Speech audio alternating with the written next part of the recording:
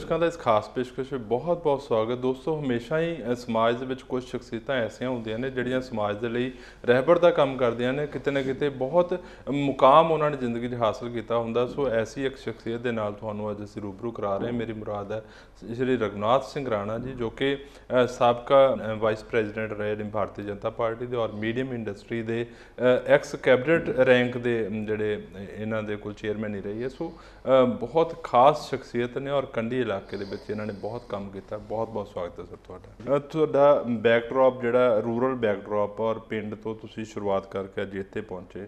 ਸਾਡੇ ਦਰਸ਼ਕਾਂ ਨੂੰ ਇਹ ਦੱਸੋ ਕਿ ਤੁਹਾਡਾ ਜਨਮ ਕਿੱਥੇ ਹੋਇਆ ਔਰ ਮੁੱਢਲਾ ਬਚਪਨ ਕਿੱਦਾਂ ਬੀਤਿਆ ਤੁਹਾਡਾ? ਸਾਡਾ ਜਿਹੜਾ ਪਿੰਡ ਹੈ ਨਾ, ਉਹ ਪੈ ਜਾਂਦਾ ਆ ਹਿਮਾਚਲ ਦੇ ਬਾਰਡਰ ਤੇ। ਤਰਵਾੜਾ ਤੋਂ ਜਿਹੜੀ ਦੌਲਤਪੁਰ ਜੋ ਹਿਮਾਚਲ ਨੂੰ ਰੋਡ ਜਾਂਦੀ ਉਸ ਤੇ ਲਾਸਟ 'ਚ ਹੈਗਾ।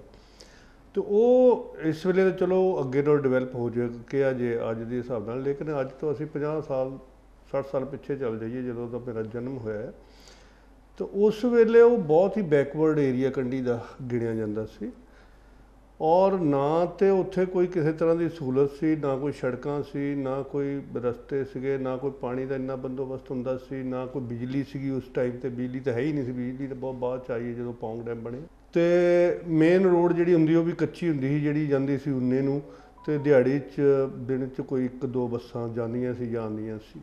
ਬਹੁਤ ਹੀ ਰੂਰਲ ਏਰੀਆ ਸੀ ਤੇ ਮੇਰਾ ਜਿਹੜਾ ਜਨਮ ਹੈ ਉਸ ਪਿੰਡ 'ਚ ਹੋਇਆ ਭਵਨੌਰ 'ਚ, ਜਿਹੜਾ ਕਿ ਉਸ ਵੇਲੇ ਜ਼ਿਲ੍ਹਾ ਕਾਂਗੜਾ ਵੀ ਪੈਂਦਾ ਸੀ, ਕਾਂਗੜੇ ਚੱਲਦੇ ਸੀ ਸੀ ਤੇ ਉੱਥੇ ਹੀ ਮੇਰੀ ਪ੍ਰਾਇਮਰੀ ਜਿਹੜੀ ਹੈ ਐਜੂਕੇਸ਼ਨ ਹੋਈ ਹੈ, ਉੱਥੇ ਸਾਡੇ ਸਕੂਲ ਵਿੱਚ ਜਿਹੜਾ ਪ੍ਰਾਇਮਰੀ ਸਕੂਲ ਸਾਡਾ ਸੀਗਾ।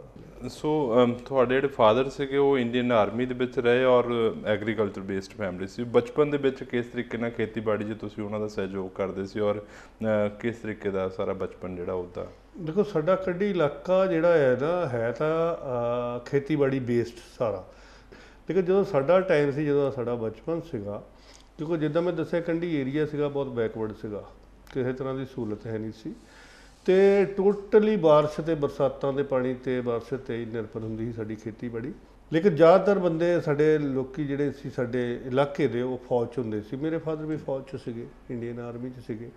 ਮੇਰੇ ਵੱਡੇ ਬ੍ਰਦਰ ਜਿਹੜੇ ਅਸੀਂ 8 ਭੈਣ ਭਰਾ ਹੈਗੇ ਆ ਮੇਰੀਆਂ ਪੰਜ ਭੈਣਾਂ ਤਿੰਨ ਅਸੀਂ ਭਰਾ ਸੀਗੇ ਤੇ ਦੋ ਤੇ ਇਸ ਵੇਲੇ ਮਤਲਬ ਐਕਸਪਾਇਰ ਹੋ ਚੁੱਕੇ ਆ। ਮੇਰੇ ਵੱਡੇ ਬ੍ਰਦਰ ਜਿਹੜੇ ਸੀ ਉਹ ਆਰਮੀ 'ਚ ਸੀਗੇ ਉਹ ਵੀ।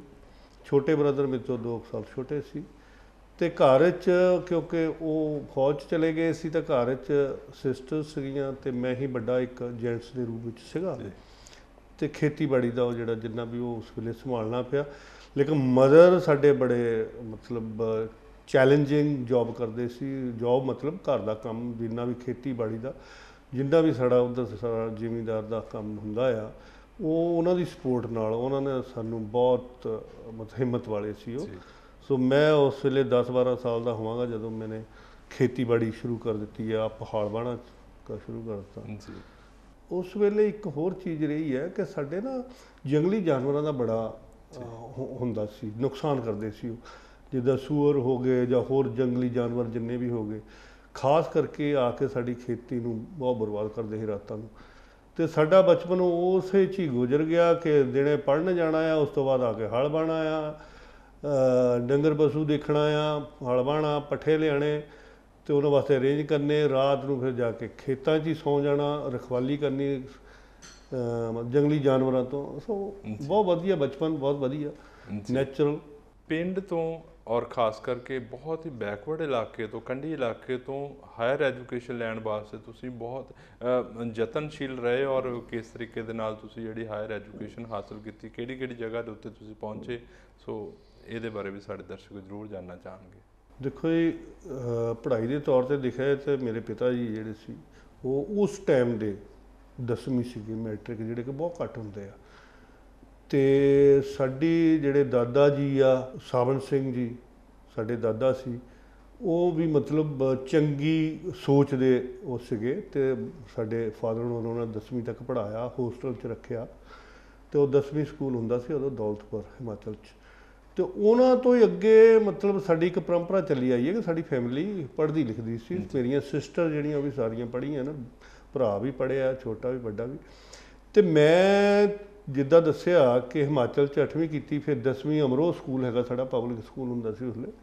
ਉੱਥੇ ਉਹ ਵੀ 4-5 ਕਿਲੋਮੀਟਰ ਤੇ 4 5 ਕਿਲੋਮੀਟਰ ਤੇ ਸੀ। ਅਸੀਂ ਪੈਦਲ ਜਾਂਦੇ ਹੁੰਦੇ ਲਈ ਕੋਈ ਹੋਰ ਜਰੀਆ ਨਹੀਂ ਸੀ। ਤੇ ਪੈਦਲ ਜਾ ਕੇ 2 ਸਾਲ ਉੱਥੇ ਮੈਂ 9ਵੀਂ 10ਵੀਂ ਕੀਤੀ ਆ ਤੇ ਉੱਥੇ ਵੀ ਚੰਗਾ ਰਿਹਾ। ਉਸ ਤੋਂ ਬਾਅਦ ਫਾਦਰ ਸਾਡੇ ਆਰਮੀ ਚੋਂ ਰਿਟਾਇਰ ਹੋ ਕੇ ਆ ਗਏ ਸਿਵਲ 'ਚ। ਤੇ ਸਿਵਲ 'ਚ ਨੌਕਰੀ ਕਰਦੇ ਸੀ ਤੇ ਉਹ ਸਭ ਤੋਂ ਪਹਿਲੇ ਉਹਨਾਂ ਨੇ ਲੁਧਿਆਣੇ ਉਸਲੇ ਪੋਸਟਿੰਗ ਸੀਗੀ ਤੇ ਜਦੋਂ ਮੈਂ ਉਹਨਾਂ ਕੋਲ 10ਵੀਂ ਕਰਕੇ ਚਲਾ ਗਿਆ ਤੇ ਪ੍ਰੈਪ 'ਚ ਮੈਂ ਦਾਖਲ ਹੋਇਆ ਸੀ ਲੁਧਿਆਣੇ ਆਰੀਆ ਕਾਲਜ। ਤੇ ਉੱਥੇ ਮੈਂ ਈਵਨਿੰਗ ਕਾਲਜ ਅਟੈਂਡ ਕੀਤਾ ਦਿਨੇ ਕੋਈ ਕੰਮਕਾਜ ਸਿੱਖਣ ਵਾਸਤੇ ਕਿ ਲਾਈਫ ਵਿੱਚ ਅੱਗੇ ਵਧਣਾ ਆ ਤੇ ਪੜ੍ਹਾਈ ਦੇ ਨਾਲ ਨਾਲ ਮੈਂ ਕਿ ਕੋਈ ਕੰਮ ਕਰ ਸਿੱਖ ਲਈਏ। ਤੇ ਪ੍ਰੈਪ ਅਸੀਂ ਉੱਥੇ ਕੀਤੀ ਸੀ। ਉਸ ਤੋਂ ਬਾਅਦ ਫਾਦਰ ਹੁਣੀ ਸ਼ਿਫਟ ਹੋ ਗਏ, ਉਹਨਾਂ ਦੀ ਬਦਲੀ ਹੋ ਗਈ ਹੁਸ਼ਿਆਰਪੁਰ ਦੀ। ਫਿਰ ਮੈਂ ਹੁਸ਼ਿਆਰਪੁਰ ਆ ਗਿਆ ਤੇ ਡੀਏਵੀ ਕਾਲਜ ਹੁਸ਼ਿਆਰਪੁਰ ਫਿਰ ਮੈਂ। ਐਜੂਕੇਸ਼ਨ ਤੋਂ ਬਾਅਦ ਅਗਰ ਗੱਲ ਕਰੀਏ, ਸਰ, ਤੁਸੀਂ ਬਿਜ਼ਨਸ ਦੇ ਵਿੱਚ ਇੱਕ ਬਹੁਤ ਵੱਡਾ ਵਿਲੱਖਣ ਨਾਮ ਜਿਹੜਾ ਹੈ, ਉਹ ਬਣਾਇਆ। ਸੋ ਉਹ ਜਿਹੜਾ ਨਾਮ ਸੀਗਾ, ਕਿਸ ਤਰੀਕੇ ਦੇ ਨਾਲ ਤੁਸੀਂ ਬਿਜ਼ਨਸ ਚ ਆਇਆ ਔਰ ਕਿਹੜੇ-ਕਿਹੜੇ ਅਵਾਰਡ ਤੁਹਾਨੂੰ ਬਿਜ਼ਨਸ ਵਿੱਚ ਮਿਲੇ? ਇੰਟਰਨੈਸ਼ਨਲ ਲੈਵਲ ਤੇ ਇਹ ਬਿਜ਼ਨਸ ਨੂੰ ਤੁਸੀਂ ਕਿਸ ਤਰੀਕੇ ਦੇ ਨਾਲ ਲੈ ਕੇ ਗਏ? ਸੋ ਇਹਦੇ ਬਾਰੇ ਵੀ ਸਾਡੇ ਦਰਸ਼ਕਾਂ ਨੂੰ ਤੁਸੀਂ ਥੋੜਾ ਜਾਣਕਾਰੀ ਦੇਖੋ, ਇਹਨੂੰ, ਇਹ, ਇਸ ਗੱਲ ਤੱਕ ਪਹੁੰਚਣ ਵਾਸਤੇ ਪਹਿਲੇ ਮੈਂ ਜ਼ਰੂਰ ਇਹ ਦੱਸਣਾ ਚਾਹਾਂਗਾ ਕਿ ਸਾਡੀ ਫੈਮਿਲੀ 'ਚ ਮੈਂ, ਸਾਡੇ ਸੰਸਕਾਰ ਜਿਹੜੇ ਆ ਸ਼ੁਰੂ ਤੋਂ ਬੜੇ ਇੱਕ ਮਿਹਨਤ ਹਾਰਡ ਵਰਕਿੰਗ ਦੇ ਰਿਹਾ ਸਾਡੀ ਫੈਮਿਲੀ ਪੂਰੀ, ਚਾਹੇ ਫਾਦਰ ਸੀਗੇ ਮਦਰ ਸੀਗੇ ਬ੍ਰਦਰ ਸੀਗੇ ਸਿਸਟਰ ਸੀਗੀਆਂ। ਸਾਰੇ ਇੱਕ ਹਾਰਡ ਵਰਕਿੰਗ ਫੈਮਿਲੀ ਜਿੱਦਾਂ ਬਾਕੀ ਵੀ ਹੁੰਦੀਆਂ ਨੇ, ਲੇਕਿਨ ਅਸੀਂ ਉਹਦੇ ਨਾਲ ਨਾਲ ਸਾਡੇ ਸੰਸਕਾਰ ਸਿੱਖੇ ਹਮੇਸ਼ਾ ਸੱਚ ਬੋਲਣਾ, ਸੱਚਾਈ ਦੇ ਨਾਲ ਰਹਿਣਾ, ਇਹ ਮੈਂ ਪੇਰੈਂਟਸ ਤੋਂ ਸਾਡੇ ਹਮੇਸ਼ਾ ਬਹੁਤ ਵੱਡੀ ਸਿੱਖਿਆ ਮਿਲੀ ਹੈ।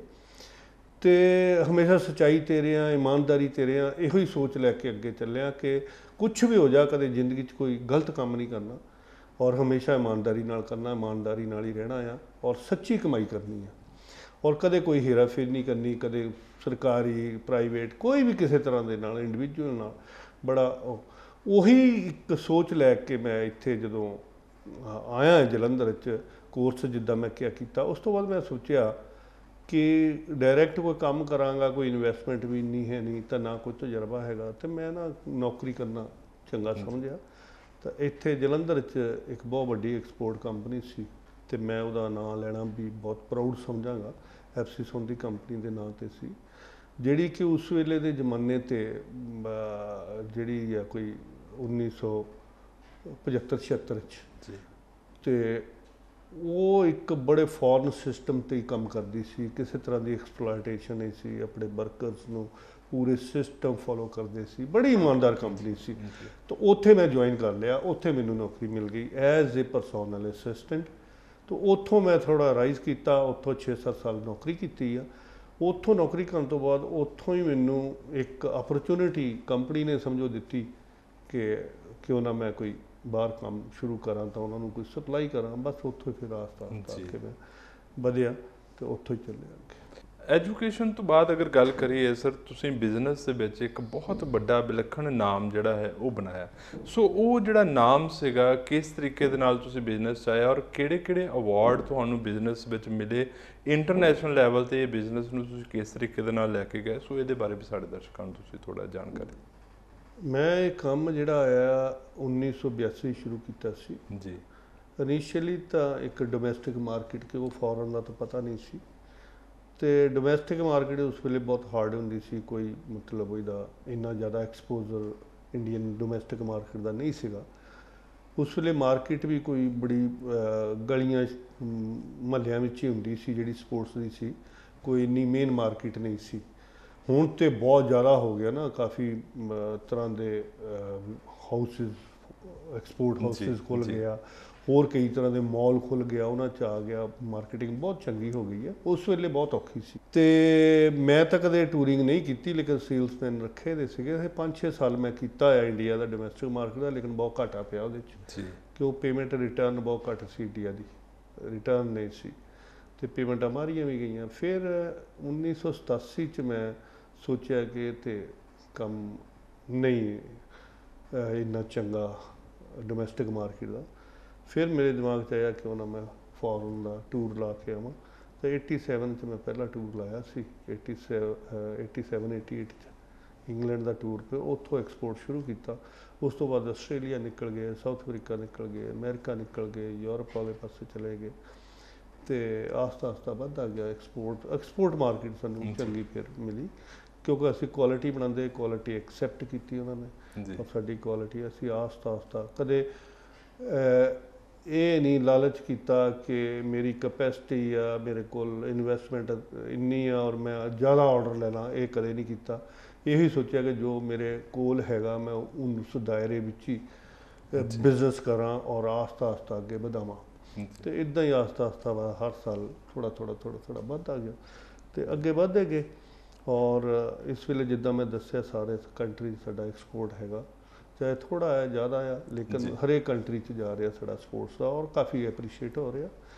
ਅਸਰ ਤੁਸੀਂ ਕਾਮਯਾਬੀ ਤੋਂ ਬਾਅਦ ਰਾਜਨੀਤੀ ਦੇ ਵਿੱਚ ਜਿਹੜਾ ਹੈ ਤੁਹਾਡੀ ਆਮਦ ਹੋਈ ਸੋ ਕਿਸ ਤਰੀਕੇ ਦੇ ਨਾਲ ਇਹ ਜਿਹੜੀ ਰਾਜਨੀਤੀ ਵਿੱਚ ਆਮਦ ਹੈ ਇਹ ਕਿਸ ਤਰੀਕੇ ਨਾਲ ਹੋਈ ਔਰ ਕਿਹਨਾਂ ਦੇ ਦੁਆਰਾ ਤੁਸੀਂ ਬੀਜੇਪੀ ਭਾਰਤੀ ਜਨਤਾ ਪਾਰਟੀ ਦੇ ਵਿੱਚ ਕਦਮ ਰੱਖਿਆ ਔਰ ਇਹਨਾਂ ਅਹੁਦਿਆਂ ਦੇ ਉੱਤੇ ਪਹੁੰਚੇ ਸੋ ਉਹਦੇ ਬਾਰੇ ਵੀ ਸਾਡੇ ਦਰਸ਼ਕਾਂ ਨੂੰ।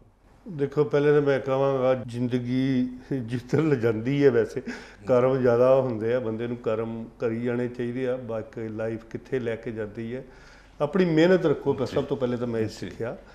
ਜਦੋਂ ਅਸੀਂ ਆ ਮੈਂ ਬਿਜ਼ਨਸ ਸੀਗਾ ਬਿਜ਼ਨਸ ਹੈਗਾ ਬਿਜ਼ਨਸ ਫਸਟ ਈਅਰ ਤੋਂ ਲੈ ਕੇ ਮੇਰੇ ਖਿਆਲ 90 ਤੋਂ ਇੱਕ ਬਹੁਤ ਵੱਡਾ ਜਿਹਾ ਸਾਨੂੰ ਅਸੀਂ ਅਵਾਰਡ ਮਿਲਦੇ ਆ ਹਰ ਸਾਲ ਜਿਹੜਾ ਕਿ ਸਾਡੇ ਮਿਨਿਸਟਰੀ ਆਫ ਕਮਰਸ ਦੇ। ਅੰਡਰ ਹੈਗੀ ਸਾਡੀ sports goods export promotion council ਉਹਨਾਂ ਦੇ ਥਰੂ ਮਿਲਦੇ ਆ ਗਵਰਨਮੈਂਟ ਅਵਾਰਡ ਮਿਲਦੇ ਆ ਐਕਸਪੋਰਟ ਦੇ ਜਿਹਨੂੰ ਕਿ ਸਾਨੂੰ ਮਿਲਦਾ ਰਿਹਾ ਪਿਛਲੇ ਜਿੰਨੇ ਜਦੋਂ ਦਾ ਕੰਮ ਸ਼ੁਰੂ ਕੀਤਾ ਆ ਐਕਸਪੋਰਟ ਐਕਸਲੈਂਸ ਅਵਾਰਡ ਸਾਨੂੰ ਹਰ ਸਾਲ ਮਿਲਦਾ ਰਿਹਾ ਆ। ਔਰ ਮੈਂ ਇਹਦੇ ਚ ਕਾਫੀ ਐਕਟਿਵ ਰਿਹਾ ਔਰ ਇੰਡਸਟਰੀ ਨੇ ਮੈਨੂੰ ਐਕਟਿਵ ਕੀਤਾ ਆ। ਇੰਡਸਟਰੀ ਦੇ ਸਿਰ ਸਿਰਾ ਜਾਂਦਾ ਜਿਨ੍ਹਾਂ ਨੇ ਮੈਨੂੰ ਜ਼ਿੰਮੇਵਾਰੀਆਂ ਦਿੱਤੀਆਂ ਔਰ ਮੈਨੂੰ ਅੱਗੇ ਐਕਟੀਵਿਟੀਜ਼ ਕਰਨ ਦਾ ਮੌਕਾ ਦਿੱਤਾ। ਸੋ ਇੰਡਸਟਰੀ ਨੇ ਮੈਨੂੰ ਪਹਿਲੇ ਤੇ ਸਪੋਰਟਸ ਇੰਡਸਟਰੀ ਦਾ ਇੱਥੇ ਦਾ ਚੇਅਰਮੈਨ ਬਣਾਇਆ। ਸਪੋਰਟਸ ਗੁੱਡਸ ਮੈਨੂਫੈਕਚਰਰਸ ਐਸੋਸੀਏਸ਼ਨ ਸਾਡੀ ਹੈਗੀ ਮੈਨੂਫੈਕਚਰਰਸ ਐਂਡ ਐਕਸਪੋਰਟਰ ਐਸੋਸੀਏਸ਼ਨ ਉਹਦਾ ਉਸ ਤੋਂ ਬਾਅਦ ਮੈਨੂੰ ਸਾਡੀ ਇੱਕ sports goods export promotion council ਹੈ ਜਿਹੜੀ ਕਿ ਹਰ ਟ੍ਰੇਡ ਦੀ ਹੁੰਦੀ ਹੈ। ਜੀ। ਐਕਸਪੋਰਟ ਪ੍ਰੋਮੋਸ਼ਨ ਕਾਉਂਸਲ ਜਿਹੜੀ ਕਿ ਐਕਸਪੋਰਟ ਨੂੰ ਪ੍ਰਮੋਟ ਕਰਦੀ ਹੈ। ਤੇ ਉਹ ਕਾਉਂਸਲ ਜਿਹੜੀ ਹੈ ਸਾਡੇ ਮਿਨਿਸਟਰੀ ਆਫ ਕਮਰਸ ਦੇ ਅੰਡਰ ਆਉਂਦੀ ਹੈ। ਉਹਦਾ ਮੈਂ 8-10 ਸਾਲ ਡਾਇਰੈਕਟਰ ਰਿਹਾ ਹਾਂ ਜਿਹੜੇ ਕਿ ਨਿਰਵਾਚਿਤ ਹੋ ਕੇ ਜਾਂਦੇ ਆ ਇੰਡਸਟਰੀ ਤੋਂ। ਔਰ ਉਸ ਤੋਂ ਬਾਅਦ ਮੈਂ ਵਾਈਸ ਚੇਅਰਮੈਨ ਰਿਹਾ ਹਾਂ 2 ਸਾਲ। ਔਰ ਉਸ ਤੋਂ ਬਾਅਦ ਫਾਈਨਲੀ ਮੈਂ ਚੇਅਰਮੈਨ ਦੇ ਤੌਰ ਤੇ ਜੀ। Sports goods export promotion under ministry of commerce ਦੇ ਚੇਅਰਮੈਨ ਦੇ ਤੌਰ ਤੇ ਰਿਹਾ। ਜੀ। ਇੱਥੋਂ ਜਿੱਦਾਂ ਜਿੱਦਾਂ ਐਕਸਪੋਜ਼ਰ ਆਂਦਾ ਗਿਆ ਜਾਂ ਜਿੱਦਾਂ ਜਿੱਦਾਂ ਮੈਨੂੰ ਅਪਰਚੂਨਿਟੀ ਮਿਲਦੀ ਗਈ ਕਿਤੇ ਪਾਸੇ ਵੀ ਮੈਂ ਉਹਨੂੰ ਅਪਣਾਇਆ ਮੈਂ ਕਦੇ ਉਹਦੇ 'ਚ ਕੋਈ ਮਤਲਬ ਪ੍ਰਾਊਡ ਨਹੀਂ ਕੀਤਾ ਜਾਂ ਜ਼ਿਆਦਾ ਉਹ ਨਹੀਂ ਬੜਾ ਸਿੰਪਲੀ ਉਹਨੂੰ ਅਡਾਪਟ ਕੀਤਾ ਜੋ ਵੀ।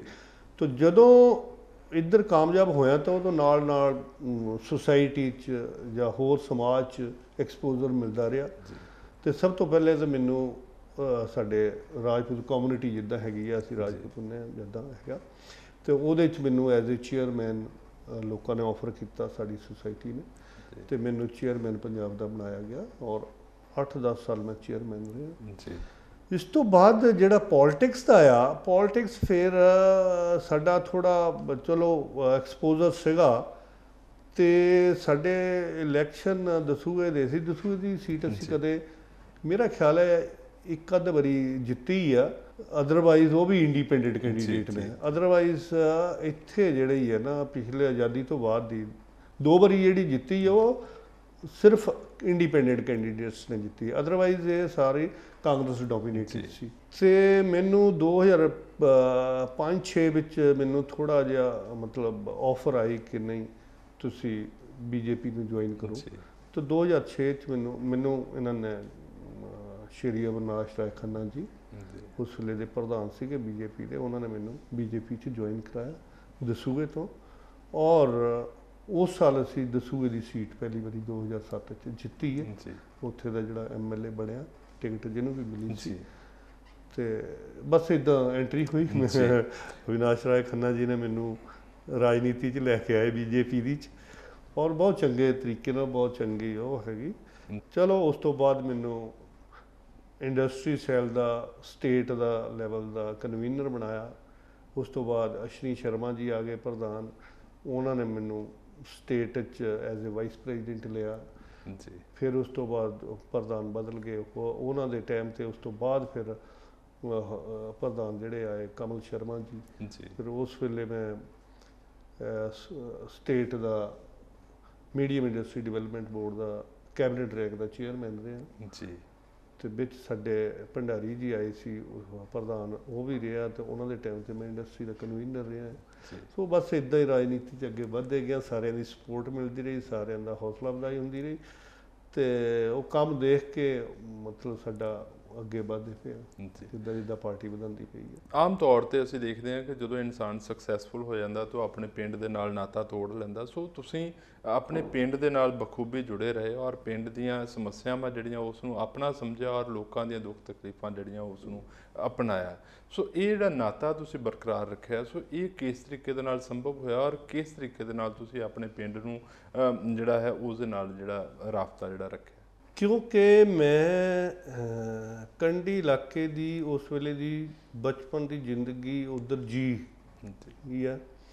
ਤੇ ਮੈਂ ਕਿਉਂਕਿ ਮੇਰਾ ਲਗਾਵ ਰਿਹਾ ਕਿਉਂਕਿ ਜਿੱਥੇ ਬੰਦਾ ਖੇਡਿਆ ਪੂਰੀ ਜ਼ਿੰਦਗੀ ਆਪਣਾ ਬਚਪਨ ਅਸੀਂ ਉੱਥੇ ਕੀਤਾ ਬਤਾਇਆ ਆ। ਜੰਗਲਾਂ 'ਚ ਪਹਾੜਾਂ 'ਚ ਖੱਡਾਂ ਨਾਲੀਆਂ ਵਿੱਚ ਜਿੰਨੇ ਵੀ ਉਧਰ ਦਾ ਮਾਹੌਲ ਹੈਗਾ। ਲੇਕਿਨ ਉਧਰ ਵਾਤਾਵਰਣ ਬਹੁਤ ਵਧੀਆ। ਜੀ ਬਾਈ ਕਠਿਨਾਈਆਂ ਚਾਹੇ ਹਜ਼ਾਰ ਹੈਗੀਆਂ ਲੇਕਿਨ ਵਾਤਾਵਰਣ ਜਿਹੜਾ ਆ ਬਹੁਤ ਵਧੀਆ। ਹਰ ਤਰ੍ਹਾਂ ਨਾਲ ਚਾਹੇ ਉਹ ਵੈਸੇ ਨੇਚਰ ਦਾ ਵਾਤਾਵਰਣ ਲਾਏ ਚਾਹੇ ਸਮਾਜ ਦਾ ਵਾਤਾਵਰਣ ਲਾਏ ਬੜਾ ਇੱਕ ਕੂਲ ਏਰੀਆ ਹੈਗਾ ਬਹੁਤ ਵਧੀਆ ਹੈਗਾ। ਚੀਜ਼ ਇਹ ਹੈਗੀ ਹੈ, ਮੈਂ ਇਹਦੇ ਚ ਇੱਕ ਤੁਹਾਨੂੰ ਦੱਸਾਂਗਾ ਕਿ ਮੈਂ ਵੀ ਕਈ ਵਾਰੀ ਸੋਚਦਾ ਦੇਖੋ ਮੈਨੂੰ ਇੰਨੇ ਸਾਲ ਬਾਅਦ ਬਿਜ਼ਨਸ ਕਰਦੇ ਨੂੰ ਹੋ ਗਏ ਮੈਂ ਅੱਜ ਵੀ ਮੈਨੂੰ ਕੋਈ ਰਾਤ ਨੂੰ ਸੁੱਤੇ ਨੂੰ ਸੁਪਨਾ ਤਾਂ ਮੇਰੇ ਪਿੰਡ ਦਾ ਹੀ ਆਉਂਦਾ ਹੈ। ਜੀ। ਬਚਪਨ ਦਾ ਹੀ ਆਂਦਾ ਆ ਕਿ ਮੈਂ ਉੱਥੇ ਹੀ ਅਜੇ ਪਿੰਡਾਂ 'ਚ ਘੁੰਮਦਾ ਉਹੀ ਮੈਨੂੰ ਦ੍ਰਿਸ਼ ਆਉਂਦੇ ਆ ਉਹੀ ਆਉਂਦੇ ਆ। ਮੈਨੂੰ ਕਦੇ ਆਪਣੀ ਫੈਕਟਰੀ ਦਾ ਸੁਪਨਾ ਨਹੀਂ ਆਇਆ ਅੱਜ ਤੱਕ। ਨਾ ਕਦੇ ਇੱਧਰ ਸ਼ਹਿਰ ਦਾ ਆਇਆ ਮੈਂ ਮੈਂ ਆ ਬਣ ਗਿਆ ਮੈਂ ਆ ਗਿਆ ਕਦੇ ਦਿਮਾਗ 'ਚ ਮਤਲਬ ਕਦੇ ਨਹੀਂ। ਸੋ ਇਹਦਾ ਮਤਲਬ ਇਹ ਹੈਗਾ ਕਿ ਬਚਪਨ ਤੋਂ ਤੁਹਾਡੇ ਜਿਹੜਾ ਇੱਕ ਫੀਡ ਹੁੰਦਾ ਨਾ ਬਚਪਨ ਉਹ ਤੁਹਾਡਾ ਸਾਰੀ ਜ਼ਿੰਦਗੀ ਤੁਹਾਡੇ ਨਾਲ ਅਟੈਚ ਰਹਿੰਦਾ ਆ। ਤੇ ਮੇਰੀ ਅਟੈਚਮੈਂਟ ਇਸ ਕਰਕੇ ਜ਼ਿਆਦਾ ਸੀ ਕਿਉਂਕਿ ਮੈਂ ਉਧਰ ਦੀਆਂ ਦੁੱਖ ਤਕਲੀਫਾਂ ਦੇਖੀਆਂ ਸੀ। ਔਰ ਉਧਰ ਦੀ ਜ਼ਿੰਦਗੀ ਦੇਖੀ ਸੀ ਜੀ ਕੇ। ਤੇ ਦੇਖੋ, ਜ਼ਿੰਦਗੀ 'ਚ ਜਿਹੜਾ ਮੇਰਾ ਆਪਣੀ ਸੋਚ ਹੈ ਕਿ ਹਰ ਪਰਿਵਾਰ 'ਚ ਜੇ ਚਾਰ ਜਾਂ ਪੰਜ ਭਰਾ ਨਾ ਤੇ ਹੁਣ ਜੇ ਪੰਜੇ ਕਹੋ ਆਈਏਐਸ ਆਫੀਸਰ ਬਣ ਜਾਣ ਤਾਂ ਨਹੀਂ। ਜਾਂ ਪੰਜੇ ਕੋਈ ਵੱਡੇ ਉਹ ਬਣ ਜਾਣ ਤਾਂ ਨਹੀਂ। ਕੋਈ ਪੰਜਾਂ ਦੇ ਪੰਜ ਜਰਨਲ, ਕਰਨਲ ਬਣ ਜਾਣ ਆਰਮੀ 'ਚ ਨਹੀਂ। ਕੋਈ ਖੇਤੀਬਾੜੀ ਕਰਦਾ, ਕੋਈ ਆਰਮੀ ਚਲਾ ਜਾਂਦਾ, ਕੋਈ ਆਈਏਐਸ ਬਣਦਾ। ਲੇਕਿਨ ਜਿਹੜਾ ਵੀ ਅੱਗੇ ਨਿਕਲਦਾ, ਉਹਦਾ ਫਰਜ਼ ਬਣਦਾ ਕਿ ਉਹ ਆਪਣੇ ਪਿੱਛੇ ਦੇ ਪਰਿਵਾਰ ਨੂੰ ਦੇਖੇ। ਜਦੋਂ ਤੱਕ ਬੰਦਾ ਉਨੇ ਕੁ ਦਾਇਰੇ 'ਚ ਹੁੰਦਾ ਆਪਣੇ ਪਰਿਵਾਰ ਤੇ ਆਪਣੇ ਭੈਣ ਭਰਾਵਾਂ ਨੂੰ ਦੇਖੇ ਉਹਦਾ ਫਰਜ਼ ਬਣਦਾ ਆਪਣੇ ਤਾਇਆ ਚਾਚਿਆਂ ਨੂੰ ਭੈਣ ਭਰਾਵਾਂ ਨੂੰ। ਲੇਕਿਨ ਜਦੋਂ ਉਹਨੂੰ ਹੋਰ ਜ਼ਿਆਦਾ ਮੌਕਾ ਮਿਲਦਾ ਤਾਂ ਉਹ ਜਿਹੜਾ ਇਲਾਕਾ ਉਹੀ ਉਹਦਾ ਪਰਿਵਾਰ ਹੁੰਦਾ ਆ। ਪੂਰੇ ਦਾ ਪੂਰਾ। ਤੇ ਮੈਂ ਆਪਣੇ ਇਲਾਕੇ ਨੂੰ ਜਿੰਨਾ ਵੀ ਸਾਡਾ ਕੰਡੀ ਦਾ ਇਲਾਕਾ ਇਲਾਕਾ ਕੀ ਸਾਰਾ ਸਮਾਜ ਜਿੰਨਾ ਵੀ ਹੈਗਾ ਸੋ ਜਿੰਨੇ ਕ ਲੈਵਲ ਦਾ ਮੈਂ ਆਪਣੇ ਹੈਗਾ ਉਸ ਲੈਵਲ ਤੇ ਮੈਂ ਆਪਣੇ ਇਲਾਕੇ ਨੂੰ ਆਪਣਾ ਪਰਿਵਾਰ ਦੀ ਤਰ੍ਹਾਂ ਸਮਝਦਾ।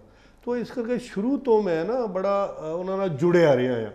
ਸ਼ੁਰੂ ਤੋਂ ਹੀ ਮੈਂ ਇੱਥੇ ਨੌਕਰੀ ਵੀ ਕਰਦਾ ਸੀ, ਤਦ ਵੀ ਮੈਂ ਚਲੋ ਹਰ ਹਫ਼ਤੇ ਨਹੀਂ ਤਾਂ ਮਹੀਨੇ 'ਚ ਇੱਕ ਅੱਧ ਵਾਰੀ, ਦੋ ਵਾਰੀ ਚੱਕਰ ਲਗਾਉਂਦਾ ਸੀ, ਲੇਕਿਨ ਜਦੋਂ ਬਿਜ਼ਨਸ 'ਚ ਆ ਗਿਆ, ਫਿਰ ਤਾਂ ਮੈਂ ਹਰ ਹਫ਼ਤੇ ਟੁਰਿਆ ਰਹਿੰਦਾ ਸੀ ਔਰ ਮੈਂ ਬਹੁਤ ਕਈ ਇਵੈਂਟਸ ਆਰਗੇਨਾਈਜ਼ ਕਰਵਾਉਂਦਾ ਹੁੰਦਾ ਸੀ, ਕੋਈ ਖੇਡਾਂ ਦੀਆਂ, ਜੇ ਹੋਰ ਸਮਾਜ ਨਾਲ ਜੁੜਿਆ ਰਿਹਾ ਮੈਂ। ਸੋ ਜਦੋਂ ਇਨਸਾਨ ਕਾਮਯਾਬ ਹੁੰਦਾ ਤਾਂ ਕਿਤੇ ਨਾ ਕਿਤੇ ਸਮਾਜ ਨੂੰ ਉਹਦੀ ਦਰਕਾਰ ਹੁੰਦੀ ਹੈ, ਸਮਾਜ ਨੂੰ ਰੀਪੇ ਕਰਨ ਦਾ ਮੌਕਾ ਹੁੰਦਾ ਰਾਣਾ ਜੀ ਨੇ ਇਸ ਚੀਜ਼ ਨੂੰ ਬਹੁਤ ਬਖੂਬੀ ਨਿਭਾਇਆ ਔਰ ਸਮਾਜ ਦੇ ਹਰ ਦੁੱਖ ਸੁੱਖ ਦੇ ਵਿੱਚ ਸ਼ਾਮਲ ਹੋਇਆ, ਆਪਣੇ ਪਿੰਡ ਦੇ ਨਾਲ ਨਾਤਾ ਬਰਕਰਾਰ ਰੱਖਿਆ, ਲੋਕਾਂ ਦੀ ਦੁੱਖ ਤਕਲੀਫ ਜਿਹੜੀ ਹੈ, ਉਸ ਨੂੰ ਸਮਝਿਆ। ਸੋ ਆਪਾਂ ਗੱਲਬਾਤ ਕਰਦੇ ਹਾਂ ਇੱਥੋਂ ਦੇ ਕੁਝ ਵਸਨੀਕਾਂ ਦੇ ਨਾਲ ਕਿ ਉਹ ਰਾਣਾ ਦੀ ਸ਼ਖਸੀਅਤ ਨੂੰ ਕਿਸ ਤਰੀਕੇ ਦੇ ਨਾਲ ਦੇਖਦੇ ਇਹ ਰਘੁਨਾਥ ਸਿੰਘ ਰਾਣਾ ਜੀ, ਅਸੀਂ ਕਾਲਜ ਟਾਈਮ ਤੋਂ ਇਹਨਾਂ ਦੇ ਨਾਲ ਰਹੇ ਹਾਂ, ਇਕੱਠੇ ਰਹੇ ਹਾਂ। ਕਾਲਜ ਟਾਈਮ ਤੋਂ ਹੀ ਇਹ ਇੱਕ ਇਹਨਾਂ ਵਿੱਚ ਇੱਕ ਲੀਡਰ ਦੇ ਗੁਣ ਸੀਗੇ। ਡੀਏਵੀ ਕਾਲਜ ਵਿੱਚ ਪੜ੍ਹਦੇ ਹੋਏ ਇਹਨਾਂ ਨੇ ਇੱਕ ਸੀਏ ਦਾ ਇਲੈਕਸ਼ਨ ਲੜਿਆ ਸੀ ਉਸ ਟਾਈਮ ਔਰ ਬੜੀ ਵਧੀਆ ਜਿੱਤ ਪ੍ਰਾਪਤ ਕੀਤੀ ਸੀਗੀ। ਉਹਦੇ ਨਾਲ ਮਤਲਬ ਕਾਲਜ ਦੇ ਸਟੂਡੈਂਟਸ ਦਾ ਜੋ ਵੀ ਹੈ, ਗੱਲਬਾਤ ਕਰਦੇ ਸੀਗੇ, ਕਮੇਟੀ ਉਹਨਾਂ ਵਿੱਚ ਸ਼ਾਮਲ ਹੋਏ ਸੀਗੇ। ਉਸ ਤੋਂ ਬਾਅਦ 74 ਚ ਮੈਂ ਬੀਏ ਕਰਕੇ ਆਪਣੇ ਆਪਣੇ ਸਾਰੇ ਅਲੱਗ-ਅਲੱਗ ਚਲੇ ਗਏ। ਇਹਨਾਂ ਨੇ 75 ਚ ਬੀਏ ਕੀਤੀ। ਉਸ ਤੋਂ ਬਾਅਦ ਪਰ ਸਾਡਾ ਜਿਹੜਾ ਹੈ ਮਿੱਤਰਤਾ ਜਿਹੜੀ ਹੈ ਉਹ ਅੱਜ ਦਿਨ ਤੱਕ ਚਾਲੂ ਹੈ। ਇਹ ਹਰ ਬੰਦੇ ਦੀ ਹੈਲਪ ਕਰਦੇ ਹੈ ਉਹਨਾਂ ਦਾ ਜਿਹੜਾ ਹੈਗਾ ਹੈ ਉਹ ਉਹ ਇੱਕੋ ਹੀ ਚਿਹਰਾ ਹੈ। ਚਾਹੇ ਬਿਜ਼ਨਸ ਹੈ ਚਾਹੇ ਪੋਲੀਟੀਕਲ ਹੈ ਚਾਹੇ ਘਰ ਦੇ ਵਿੱਚ ਹੈ ਜਿੱਦਾਂ ਵੀ ਹੈ ਉਹ ਸੱਚਾਈ ਵਾਲਾ। ਤੇ ਜੋ ਵੀ ਕਹਿੰਦੇ ਆ ਜੋ ਉਹਨਾਂ ਦੇ ਦਿਲ 'ਚ ਹੁੰਦਾ ਉਹ ਕਹਿੰਦੇ ਆ। ਜੋ ਉਹਨਾਂ ਦੇ ਦਿਲ 'ਚ ਹੁੰਦਾ ਉਹੀ ਬਾਹਰ ਹੁੰਦਾ ਹੈ ਤੇ ਹਰ ਪਾਸੇ ਇੱਕੋ ਹੀ ਫੇਸ ਹੈ। ਇਲਾਕੇ ਦੇ ਵਿੱਚ ਮੈਂ ਐਸਾ ਵੀ ਕੋਈ ਆਦਮੀ ਨਹੀਂ ਦੇਖਿਆ ਕਿ ਇੱਕ ਗਰੀਬ ਗਰਵਾਂਡੇ ਦੇ ਔਰ ਇੱਕ ਆਜ਼ਾਦ ਹਿੰਦ ਫੌਜ ਦੇ ਸੋਲਜਰ ਸੀ, ਉਹਨਾਂ ਦੇ ਸਪੁੱਤਰ ਹੈਗੇ ਕਿ ਇੰਨੇ ਮਿਹਨਤੀ, ਇਮਾਨਦਾਰ ਔਰ ਅੱਜ ਤੱਕ ਮੈਨੂੰ ਹੁਣ ਖਿਆਲ ਹੀ ਨਹੀਂ ਕਿ ਕਿੰਨਿਆਂ ਕੁ ਮੇਰਾ ਖਿਆਲ ਹੈ ਕੋਈ 2-300 ਲੜਕੀ ਨੂੰ ਮਸ਼ੀਨਾਂ ਦਿੱਤੀਆਂ ਹੋਣੀਆਂ ਉਸ ਪੀਰੀਅਡ 'ਚ, ਤਾਂ ਜਾਂ ਪੈਸੇ ਦਿੱਤੇ ਨੇ ਜਿਨ੍ਹਾਂ ਦੇ ਬਿਲਕੁਲ ਅਤੀ ਗਰੀਬ ਸੀ। ਔਰ ਇੰਨਾ ਇਮਾਨਦਾਰ ਆਦਮੀ ਸਾਡੇ ਇਲਾਕੇ 'ਚ ਬਲਕਿ ਦੁਨੀਆ 'ਚ ਹੀ ਨਹੀਂ ਮਿਲ ਸਕਦਾ। ਔਰ ਗਰੀਬਾਂ ਦੀ ਹੈਲਪ ਕਰਨ ਵਾਲਾ ਵੀ ਨਹੀਂ ਇੰਨਾ ਮਿਲ ਸਕਦਾ। ਖਾ ਆਪ ਨੂੰ ਇਹਨਾਂ ਨੂੰ ਕਿੰਨੀ ਵੀ ਤਕਲੀਫ ਹੋਵੇ, ਲੇਕਿਨ ਜਨਤਾ ਦੇ ਨਾਲ ਬੜਾ ਸਹਿਯੋਗ ਔਰ ਉਹਨਾਂ ਦੀ ਦੁੱਖ ਦਰਦ ਦੇ ਨਾਲ ਉਹਨਾਂ ਦਾ ਸਹਿਯੋਗ ਕਰਦੇ ਹੈਗੇ। ਰਾਣਾ ਜੀ ਬਹੁਤ ਹੀ ਇੱਕ ਇਮਾਨਦਾਰ ਐਕਟਿਵ ਤੇ ਲੋਕਾਂ ਦੇ ਲੋਕਪ੍ਰਿਯ ਇੱਕ ਲੀਡਰ ਜਾਣੇ ਜਾਣ ਲੱਗੇ। ਕਿਉਂਕਿ ਰਾਣਾ ਜੀ ਚਾਹੇ ਕੋਈ ਕਿਸੇ ਦਾ ਨਿੱਜੀ ਮਾਮਲਾ ਹੋਏ, ਚਾਹੇ ਉਹ ਕਿਸੇ ਦੀ ਮੈਡੀਕਲ ਪ੍ਰੋਬਲਮ ਹੋਏ, ਉਹ ਰਾਣਾ ਜੀ ਇਹਨਾਂ ਚੀਜ਼ਾਂ ਬਾਰੇ ਦੱਸਦਾ ਤੇ ਰਾਣਾ ਜੀ ਉਹਨਾਂ ਦੀ ਜ਼ਰੂਰ ਮਦ- ਮਦਦ ਕਰਦੇ। ਰਾਣਾ ਜੀ ਦੇ ਨਾਲ ਅੱਜ ਤੋਂ 20 ਸਾਲ ਤੋਂ ਪਹਿਲਾਂ ਤਕਰੀਬਨ ਤਕਰੀਬਨ ਸਾਡਾ ਦੋਨਾਂ ਦਾ ਬਹੁਤ ਹੀ ਜ਼ਿਆਦਾ ਘਰੇਲੂ ਭਰਾਵਾਂ ਨਾਲੋਂ ਵੀ ਜ਼ਿਆਦਾ ਪਿਆਰ ਹੈ। ਰਾਣਾ ਜੀ ਦੇ ਨਾਲ ਰਹਿਣ ਤੋਂ ਬਾਅਦ ਸਾਨੂੰ ਕਈ ਕੁ ਸੰਸਕਾਰ ਮਿਲੇ ਸਭ ਤੋਂ ਵੱਡਾ ਸੰਸਕਾਰ ਮਾਂ-ਬਾਪ ਦੀ ਸੇਵਾ। ਜੋ ਰਾਣਾ ਜੀ ਦੇ ਅੰਦਰ ਸਮਾਜ ਦੀ ਸੇਵਾ ਔਰ ਉਹਦੇ ਨਾਲ ਨਾਲ ਸੰਸਕਾਰ, ਘਰੇਲੂ ਸੰਸਕਾਰ, ਭੈਣ ਭਰਾਵਾਂ ਦੇ ਸੰਸਕਾਰ, ਰਿਸ਼ਤੇਦਾਰਾਂ ਦੇ ਸੰਸਕਾਰ। ਇਹਨਾਂ ਨਾਲ ਮਿਲ ਮਿਲ ਕੇ ਸਾਡਾ ਇੰਨਾ ਪਿਆਰ ਵੱਧ ਗਿਆ ਵੀ ਅੱਜ ਅਸੀਂ ਜ- ਕੋਈ ਵੀ ਫੰਕਸ਼ਨ ਇੱਕ ਦੂਜੇ ਤੋਂ ਬਗੈਰ ਨਹੀਂ ਕਰਦੇ। ਸਭ ਤੋਂ ਵੱਡੀ ਚੀਜ਼ ਹੈ ਰਾਣਾ ਜੀ ਦੇ ਅੰਦਰ ਸਮਾਜ ਸੇਵਾ। ਮੈਂ ਕਦੇ ਵੀ ਪਿੰਡਾਂ ਦੇ ਅੰਦਰ ਕਦੇ ਰਾਣਾ ਜੀ ਨੂੰ ਯਾਦ ਕੀਤਾ ਹੈ ਕਿ ਰਾਣਾ ਜੀ ਇੱਕ ਘਰ ਗਰੀਬ ਹੈ। ਇਹ ਬੱਚਾ ਬਿਮਾਰ ਹੋ ਕੇ ਤੁਹਾਡੇ ਕੋਲ ਜਲੰਧਰ ਫਲਾਣੇ ਹਸਪੀਟਲ 'ਚ ਹੈ। ਰਾਣਾ ਜੀ ਨੇ ਉੱਥੇ ਤਿੰਨ ਤਿੰਨ ਮਹੀਨੇ ਵੀ ਕਈ ਬੱਚੇ ਸਾਡੇ ਦੋ ਦੋ ਬੱਚੇ ਸਾਡੇ ਜਿਹੜੇ ਸਤਿਅਮ 'ਚ ਰਹੇ, ਉਹਨਾਂ ਦੀ ਸੇਵਾ ਰੱਜ ਕੇ ਕੀਤੀ। ਹੁਣ ਵੀ ਪਿੰਡਾਂ 'ਚ ਜਦੋਂ ਵੀ ਕਦੋਂ ਕਦੇ ਇਹਨਾਂ ਨੂੰ ਕਹੀਏ ਵੀ ਇਹ ਘਰ ਗਰੀਬ ਹੈ, ਇਸ ਲੜਕੀ ਦੀ ਸ਼ਾਦੀ ਕਰਨੀ ਹੈ, ਰਾਣਾ ਜੀ ਕਦੇ ਵੀ ਪਿੱਛੇ ਨਹੀਂ ਹਟਦੇ। ਮੈਨੂੰ ਜ- ਮੈਨੂੰ ਵੀ ਕਹਿਣਗੇ ਵੀ ਜੇ ਕਿ ਨਿ- ਖੁਦ ਨਹੀਂ ਆ ਸਕਦੇ, ਕਈ ਵਾਰ ਮਜਬੂਰੀ ਹੁੰਦੀ ਹੈ। ਜਿੱਥੋਂ ਤੱਕ ਸ਼੍ਰੀ ਰਘੁਨਾਥ ਸਿੰਘ ਰਾਣਾ ਜੀ ਦਾ ਸੰਬੰਧ ਹੈ, ਮੈਂ ਉਹਨਾਂ ਦੇ ਬਾਰੇ ਜੋ ਜਾਣਦਾ, ਉਹ ਇੱਕ ਸੁਤੰਤਰਤਾ ਸੈਨਾਨੀ ਪਰਿਵਾਰ ਦੇ ਵਿੱਚ ਉਹਨਾਂ ਦਾ ਜਨਮ ਹੋਇਆ ਔਰ ਉਸ ਵੇਲੇ ਘਰੇਲੂ ਜਿਹੜੀ ਆਰਥਿਕ ਸਥਿਤੀ ਸੀ ਉਹ ਬੜੀ ਬਦਹਾਲ ਸੀ ਔਰ ਰਾਣਾ ਜੀ ਨੇ ਬੜੀ ਨੇਕ ਨੀਤੀ ਨਾਲ, ਇਮਾਨਦਾਰੀ ਦੇ ਨਾਲ ਆਪਣਾ ਜੀਵਨ ਸ਼ੁਰੂ ਕੀਤਾ ਔਰ ਜ਼ੀਰੋ ਤੋਂ ਉਹ ਅੱਜ ਹੀਰੋ ਬਣੇ। ਬਿਜ਼ਨਸਮੈਨ ਦੇ ਤੌਰ ਤੇ ਬੜੇ ਕਾਮਯਾਬ ਰਹੇ। ਅੱਜ ਉਹਨਾਂ ਦਾ ਸਪੋਰਟਸ ਇੰਡਸਟਰੀ ਦੇ ਵਿੱਚ ਬਹੁਤ ਵੱਡਾ ਨਾਂ ਹੈ। 25 30 ਦੇਸ਼ਾਂ ਦੇ ਵਿੱਚ ਉਹਨਾਂ ਦੀ ਬਣਾਇਆ ਹੋਇਆ ਸਮਾਨ ਜਿਹੜਾ ਉਹ ਐਕਸਪੋਰਟ ਕੀਤਾ ਜਾਂਦਾ ਹੈ। ਇਸ ਤੋਂ ਇਲਾਵਾ ਉਹ ਇੱਕ ਬਹੁਤ ਵਧੀਆ ਸ਼ਖਸੀਅਤ ਦੇ ਨਾਲ ਉਹਨਾਂ ਦਾ ਜਿਹੜਾ ਜੀਵਨ ਦਾ ਚਰਿੱਤਰ ਹੈ, ਜੀਵਨ ਜਾਪਣ ਦਾ ਢੰਗ ਹੈ, ਉਥੋਂ ਇਹ ਲੱਗਦਾ ਹੈ ਕਿ ਉਹ ਇੱਕ ਇਕੱਲੇ ਇਨਸਾਨ ਨਹੀਂ, ਆਪਣੇ ਆਪ ਦੇ ਵਿੱਚ ਇੱਕ ਬਹੁਤ ਵੱਡੀ ਸੰਸਥਾ ਹਨ। ਰਾਣਾ ਜੀ ਨੇ ਸਮਾਜ ਵਾਸਤੇ ਬਹੁਤ ਕੁਝ ਕੀਤਾ, ਜਿਹਦੇ ਵਿੱਚ ਦਾਨ, ਪੁੰਨ ਔਰ ਸਭ ਤੋਂ ਵੱਡਾ ਜਿਹੜਾ ਉਹਨਾਂ ਨੇ ਕੰਮ ਕੀਤਾ, ਉਹ ਇਹ ਕੀਤਾ ਕਿ ਪੰਜਾਬ ਦੇ ਵਿੱਚ ਨਸ਼ਿਆਂ ਦੀ ਬਹੁਤ ਚਰਚਾ ਹੋਈ। ਸਾਡੀ ਯੁਵਾ ਪੀੜ੍ਹੀ ਜਿਹੜੀ ਹੈ ਉਹ ਨਸ਼ਿਆਂ ਤੋਂ ਮੁਕਤ ਰਵੇ ਔਰ ਸਵਸਥ ਤਨ ਉਹਨਾਂ ਦਾ ਸਵਸਥ ਮਨ ਹੋਏ, ਉਹਦੇ ਵਾਸਤੇ ਰਾਣਾ ਜੀ ਨੇ 2-250 ਸਪੋਰਟਸ ਕਿੱਟ ਹਰ ਪਿੰਡਾਂ ਦੇ ਵਿੱਚ ਨੌਜਵਾਨ ਕਲੱਬਾਂ ਨੂੰ ਦਿੱਤੀਆਂ ਔਰ 3 350 ਉਹਨਾਂ ਨੇ ਵਾਲੀਬਾਲ ਦੀਆਂ ਕਿੱਟਾਂ, ਫੁੱਟਬਾਲ ਦੀ ਕਿੱਟਸ ਜਿਹੜੀਆਂ ਨੇ ਉਹ ਦਿੱਤੀਆਂ ਤਾਂ ਕਿ ਸਾਡਾ ਜਿਹੜਾ ਯੁਵਾ ਹੈ ਉਹ ਆਪਣੇ ਨਸ਼ਿਆਂ ਤੋਂ ਬਚ ਕੇ ਆਪਣੇ ਸਿਹਤ ਨੂੰ ਤੰਦਰੁਸਤ ਰੱਖਦੇ ਹੋਇਆਂ ਰਾਸ਼ਟਰ ਨਿਰਮਾਣ ਦੇ ਵਿੱਚ ਆਪਣੀ ਭੂਮਿਕਾ ਜਿਹੜੀ ਉਹਦਾ ਨਿਰਵਾਹ ਕਰੇ।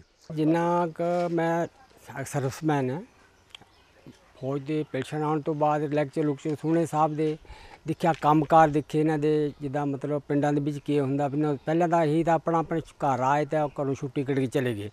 ਇਹਨਾਂ ਦੇ ਦੇਖਿਆ ਪੋਲਟੈਕਸ ਦੇਖਿਆ, ਆਪਣਾ ਪੋਲਟੈਕਸ ਕਿਆ ਮਤਲਬ ਐਮਐਲਏ ਨੇ ਕਿਤੇ ਆ ਗਿਆ ਕਿ ਦੀ ਗਰੀਬ ਦੀ ਮਦਦ ਕੀਤੀ ਜਾਂ ਕਿਆ ਕੀਤਾ, ਖੁਦ ਜ਼ਰੂਰਤਾਂ ਪਈਆਂ, ਪਰ ਉਹਨਾਂ ਨੇ ਆਪਣੇ ਇਦਾਂ ਸਮਝਿਆ ਕਿ ਜਿੱਦਾਂ ਆਪਣੇ ਪਰਿਵਾਰ ਦੀ ਕਿਸੇ ਦੀ, ਮੈਂ ਹੈਲਪ ਕਰ ਰਿਹਾ, ਦੂਸਰੇ ਦੀ ਨਹੀਂ ਕਰ ਰਿਹਾ।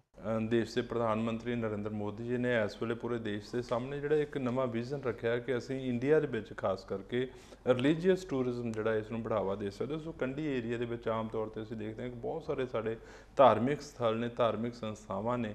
ਸੋ ਇਹਨੂੰ ਕਿਸ ਤਰੀਕੇ ਦੇ ਨਾਲ ਅਸੀਂ ਟੂਰਿਜ਼ਮ ਦੇ ਤੌਰ ਤੇ ਬੜਾਵਾ ਦੇ ਸਕਦੇ ਤਾਂ ਕਿ ਲੋਕੀ ਸ਼ਰਧਾ ਦੇ ਨਾਲ ਵੀ ਉੱਥੇ ਜਾਣ ਔਰ ਕਿਤੇ ਨਾ ਕਿਤੇ ਇਸ EMPLOYMENT ਔਰ ਰੋਜ਼ਗਾਰ ਵੀ ਉੱਥੇ ਜਿਹੜਾ ਉਹ ਲੋਕਾਂ ਨੂੰ ਮੁਹੱਈਆ ਹੋ ਸਕੇ। ਦੇਖੋ, ਤੁਸੀਂ ਬਹੁਤ ਵਧੀਆ ਗੱਲ ਸ਼ੁਰੂ ਕੀਤੀ ਹੈ ਪ੍ਰਧਾਨ ਮੰਤਰੀ ਦਾ ਜਦੋਂ ਜ਼ਿਕਰ ਕੀਤਾ ਆ ਇਹ ਮੈਂ ਜ਼ਰੂਰ ਕਹਾਂਗਾ ਸਭ ਤੋਂ ਪਹਿਲੇ ਕਿ ਸਾਡੀ ਇੱਕ ਹਿੰਦੁਸਤਾਨ ਦੀ ਕੀ ਮੇਰਾ ਖਿਆਲ ਹੈ ਮੈਂ ਸਮਝਦਾ ਪੂਰੀ ਦੁਨੀਆ ਦੀ ਪੂਰੇ ਵਰਲਡ ਦੀ ਇੱਕ ਬਹੁਤ ਵੱਡੀ ਕਿਸਮਤ ਹੈ ਕਿ ਸਾਡੇ ਪ੍ਰਧਾਨ ਮੰਤਰੀ ਸ਼੍ਰੀ ਨਰਿੰਦਰ ਭਾਈ ਮੋਦੀ ਜੀ ਇਸ ਵੇਲੇ ਸਾਡੇ ਪ੍ਰਧਾਨ ਮੰਤਰੀ ਆ ਔਰ ਉਹ ਪਿਛਲੇ 6-7 ਸਾਲ ਚ ਜੋ ਉਹਨਾਂ ਨੇ ਪਹਿਲੀ ਟਰਮ ਵਿੱਚ ਦੇਖੋ ਹਰ ਕੰਮ ਸਟੈਪ ਬਾਈ ਸਟੈਪ ਹੁੰਦਾ।